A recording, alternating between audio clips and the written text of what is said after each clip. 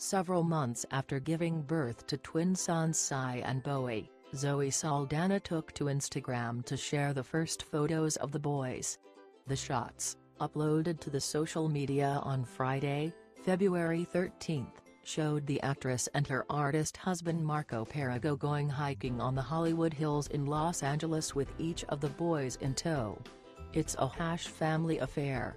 Hash twins hash full house, so read a caption that accompanied the photos.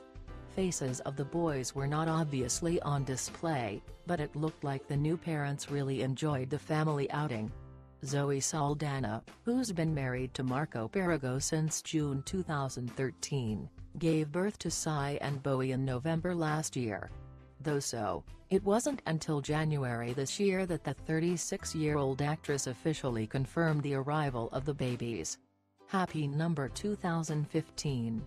Starting our hash new year with a full house. Our boys are finally here. Thank you for all the beautiful wishes. So she tweeted.